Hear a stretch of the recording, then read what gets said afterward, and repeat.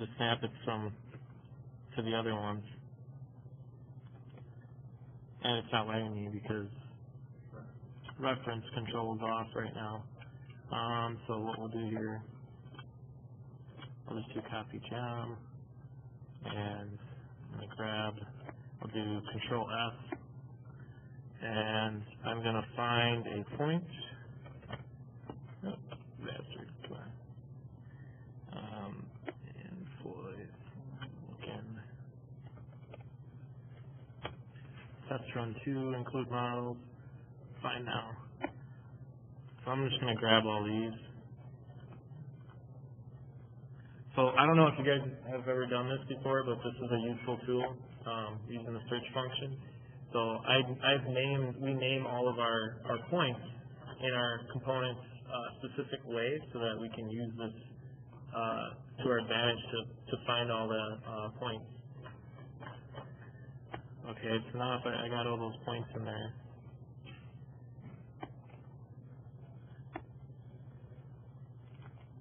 And let's just, let's just actually, for some reason I think, probably, those probably are not named correctly. So what we'll do here, oh, maybe that's why. I click edit this. So now I'm gonna, I'm gonna put that there. And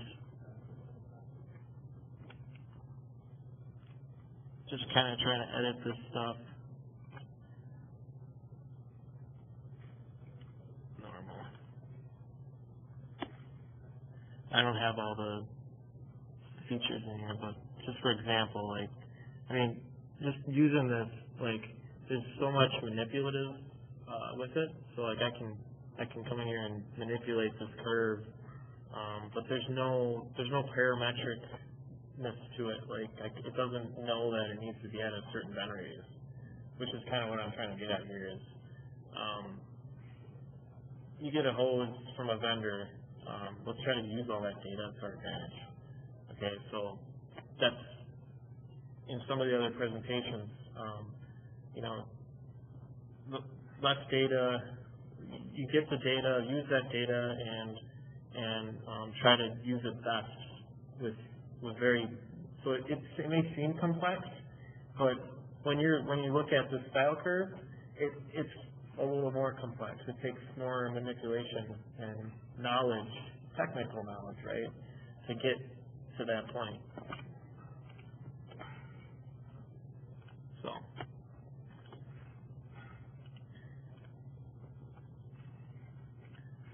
Oh, let's go back here.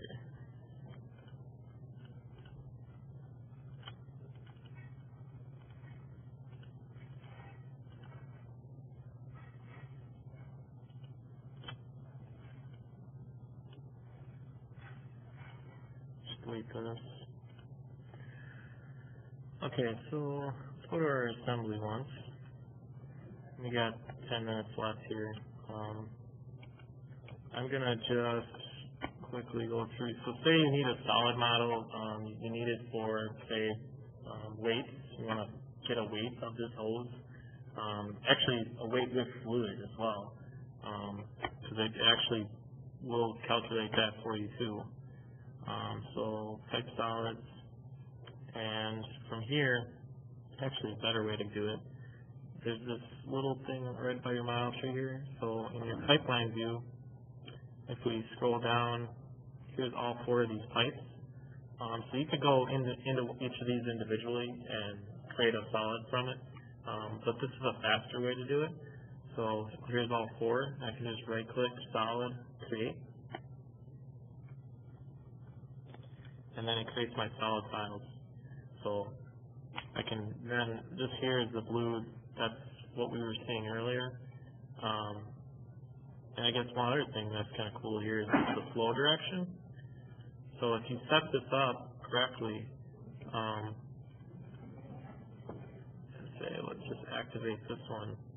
If I set this up so that um, it gives you some arrows here, and you can use this. I'm pretty sure you can use this in um, some of like the CFD uh, stuff in like 305. Um, I'm not too sure, but I I've seen some some stuff online with it. Um, so it's kind of cool. You, you got the you got the flow direction on here, and that's also where the schematics come in. So if you have a schematic drawing, um, and you want to take all that information and put it into your models, um, that's where knowing where all your fittings are, um, putting those fittings where they, they should be, and um, it knows how to make that pipe and start it and finish it. Um, so one last thing I want to do quick before I just open it, from the floor. Um, say you want to get a length for this now. So if we look at the parameters of this file, this solid file, um, it comes up with a length center. Here's our length. Okay, so that's just under 2,000 millimeters. Um, but we still need the length, because how you actually measure this this uh, pipe, you still need the length from here to the end of the fitting. Um, if if you're buying this from from uh, uh, somebody, so you can go through and manually get that information, right? Um, but what we did is we actually I set up in these models a uh, parameter driven by just a, a, a, a length measurement. And I labeled it length underscore center. So now I can I can search and find those things in when I I can create a relation and and get that information every time. So let's just go into parameters here and let's customize a filter. And we'll do a new customization filter by all subtypes and I'll do it by name and I'm going to label this length underscore center add that. Okay. And then we'll actually filter by it. And there we go. So here's 18 millimeters. So in my model tree it actually points out where it is. It's at 90 degree fitting so what that is is 18 millimeters is from this end point here to the center of this 90 degree fitting. And here's 30 mil, which is from the end point here to the end of the fitting. So now all I got to do is create a parameter and um, grab all these references. So in my relations, I already got one set up, but I'll just redo it. I'll do length equals, and in this case, I I don't have any negative values. Sometimes you may get them. Depends really on how you set your how you set those uh, analysis features up, the length measurements. Um, so what I'll do is I'll just do a right click insert relations plus and then I'll do right click to this one, insert relations plus this one, insert relations to verify. And if I want to find that, I'll go back to my default. And here's my length. And it's also designated so that if I wanted to see this in Windchill or downstream, um, I can search for it in Windchill. Um, that's just a future capability that we're trying to get to, um, to try to use some of the some more stuff from the model um, instead of relying on um, manual entry. Because this would be there's no manual entry here. It's all it's all driven by the software. So um, that's all that's all I had to really present. Um, does anybody have any questions? Anything they want to maybe talk about, go through here?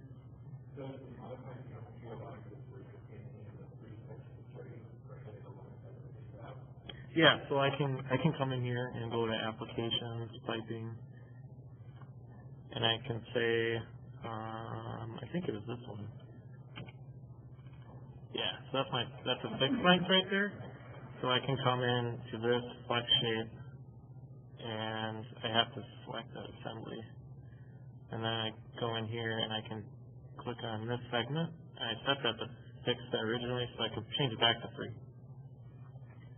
You can, you can toggle between free and flex. What about straight, if you look over, look at Okay,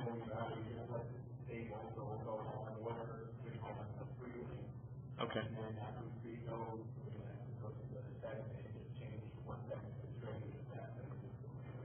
I have, I, that's a good question, I honestly, I wish I knew the answer, that, that is, that's something great that I wish you could do. I wish you could switch between straight and flag free, but you can't.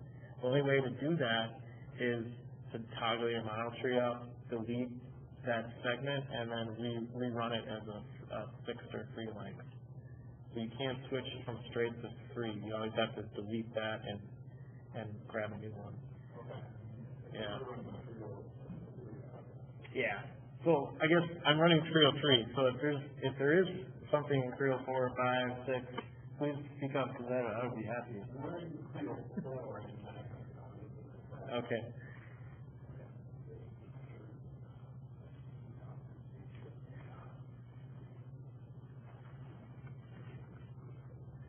Yeah, maybe it's something we put on the site, the PTC user site, and recommend them, because I, I would, I would agree, um, I mean, yeah, if you're trying to like program something to, to, to do this, um, I can see what you mean by like a straight, a straight section.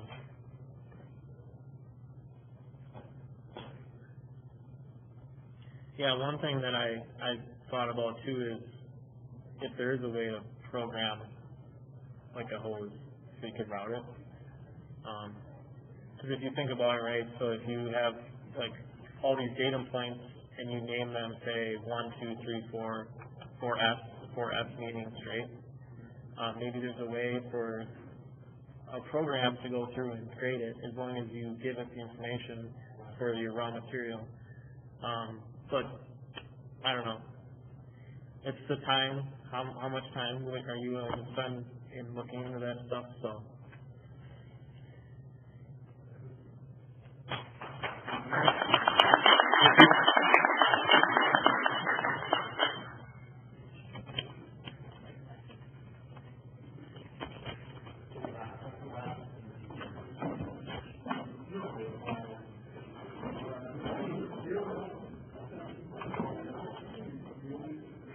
Runs will actually move the things they're attached to, to, correct? What's that? Your routings will actually move with the things they're attached to. Oh. The way I, the flexible constraints, the advantage of being able to use the same hose in four different routings, and I that to a, to a spreadsheet. Okay. Basically, I'm cutting basically, where the button, they're, they're fixed to the, to the one point, Yeah. to the locking space. No, It's yeah. the default position. Okay. And um, that is something that we've done in the past.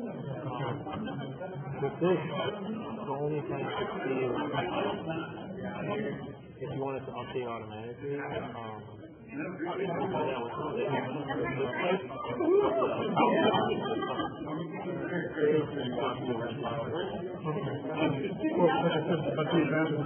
seen the route, like my particular is just natural. Yeah. It's already in the default Yeah. But if I move that, the board is still, you know, fixed because I'm in that flexible constraint. It's one that comes down to the point. You know what I'm saying? So it's gonna take the shape of the default location regardless, unless I reroute it. Okay. You know, and that's the disadvantage of doing it that way. But most, in most cases, the nested position is where you, where you want to be. Yeah. Right, I mean, for length and stuff, but I don't get any advantage of motion. So we're not moved with room. You know, this will. That's so, that's a big issue, it is. I agree. But yeah, you get to the point where you, where you become a manager on some level because you got an O one, O two, O three, O four of the same hose. You've got multiple hoses, you want it differently, but in the same, same fit, Yeah, and true, everything. true. So, and that's the balance, right? Yeah, and it's also, you know, um, think about, uh, also a manufacturing thing too. Absolutely, because now they got You numbers. if you have like a work construction, that's where, Yes, something like that. would- communicate where, where you're going.